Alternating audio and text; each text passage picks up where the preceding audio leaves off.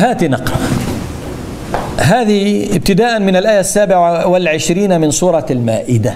أي سورة؟ بظنك بربك. أن جعلها في المائدة هكذا جزافا أم بحكمة وعلم؟ يعني إن كانت إن كانت للتربية. ألا يحسد أحدنا أخاه فأحرى أن تكون في الحجرات. لا تجسسوا ولا يغتب بعضكم بعضا. أيحب أحدكم أن يأكل لحم أخيه ميتا فكرهتموه؟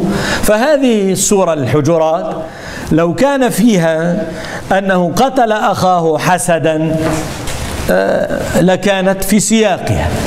إنما إذ جعلها الحكيم العليم في المائدة فقد وجب عليك أن تقرأ السورة والسور. السورة السور السوار باب واحد. واضح؟ ببدء وخاتمة. يبدأها الله يختمها الله يقول فيها ما يريد. تجد عن موسى في القصص ما لا تجده في الشعراء وتجد في الشعراء ما لا تجده في النمل. فإذا جمعت هذا علمت كل الأمر عن موسى.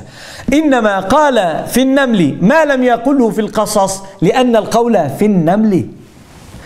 فصار سور النمل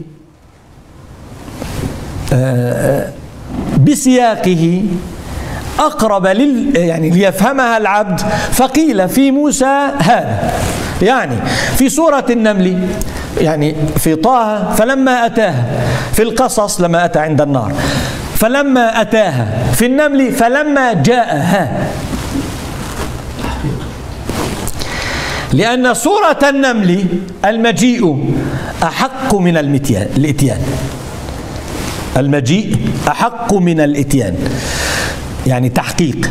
يعني قالوا أوذينا من قبل أن تأتينا. اسمع أنت أنت لم تأتي. ومن بعد ما جئتنا. فالمجيء أحق وأثبت وأوقع من الإتيان. سورة النمل فيها ما فيها من التحقيق. وجئتك من سبأ بنبأ يقين. قال الله فيها إنك على الحق المبين. فهذه الصورة التي فيها التحقيق والحق ويأبى الله فيها التخريص واللجاجة والظن والزخارف كما فعلت ملكة سبأ بالتالي فيها المجيء هكذا الآن هذه في سورة المائدة ما المائدة؟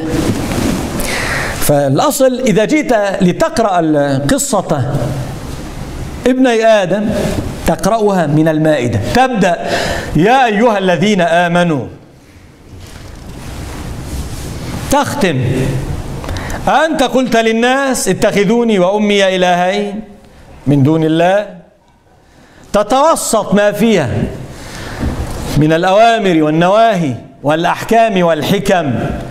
فإذا اجتمع لك هذا علمت لما أو كدت أن تعلم لما جعل الله هذا ها هنا. هذا أول التدبر. قلنا لكم لزاما إذا أردت أن تدرس آية لزمتك سورتها. قصة لزمتك سورتها.